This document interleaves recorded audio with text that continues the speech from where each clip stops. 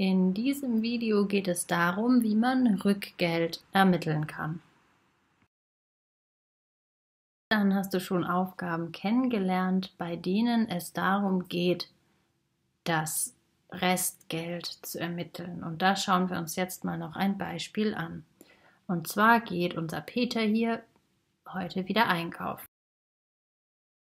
Er hat ein bisschen Taschengeld mitbekommen und er soll ein Brot kaufen. Das Brot kostet 4 Euro. Schau dir den Geldbeutel mal genau an. Welche Münzen braucht Peter dafür?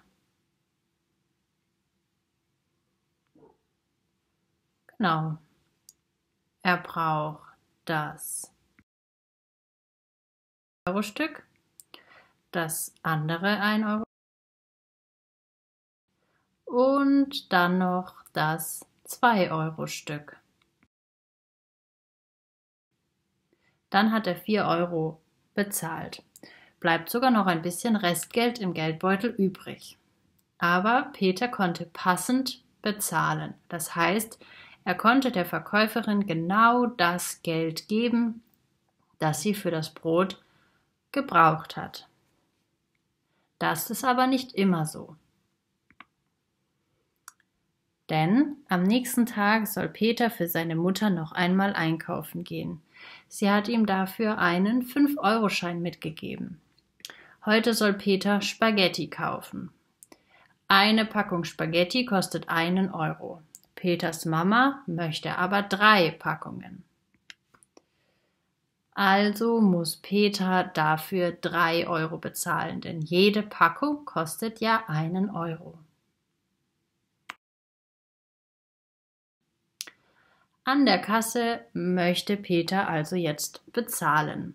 Sein Einkauf kostet 3 Euro. Er bezahlt mit einem 5-Euro-Schein, denn das ist ja das einzige Geld, das seine Mutter ihm gegeben hat.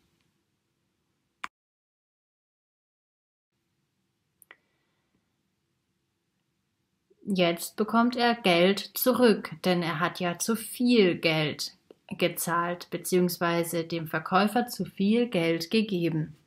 Wie viel Geld bekommt Peter vom Verkäufer zurück? Drück mal auf Pause und finde es heraus. Wenn du bereit bist, dann drück wieder auf Starten.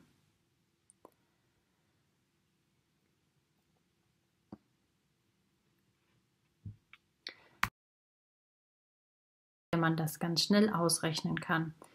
5 Euro gibt Peter dem Verkäufer minus den 3 Euro, die die Spaghetti kosten, die werden abgezogen. Wie viel bleibt übrig? 5 minus 3 ist gleich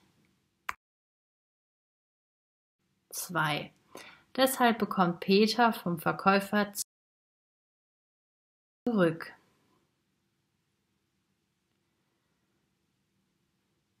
Da, denn er nimmt ja die Spaghetti mit und die kosten 3 Euro, also 3 Euro für die Spaghetti plus seine 2 Euro. Da hat er seine 5 Euro. Schauen wir uns noch ein zweites Beispiel an. Heute soll Peter Marmelade kaufen. Seine Mutter hat ihm dafür sogar einen 10-Euro-Schein mitgegeben. Sie möchte ganz schön viel backen und zwar Berliner. Und dafür braucht sie natürlich viel Marmelade. Deswegen möchte sie gleich drei Gläser. Für drei Gläser Marmelade muss Peter sechs Euro bezahlen, denn jedes Glas kostet zwei Euro. Zwei plus zwei plus zwei ist gleich sechs. Also schnappt Peter sich seine drei Gläser Marmelade und geht zur Kasse. Sein Einkauf kostet 6 Euro.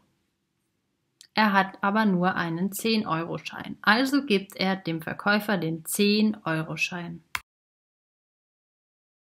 Wie viel Geld bekommt Peter zurück?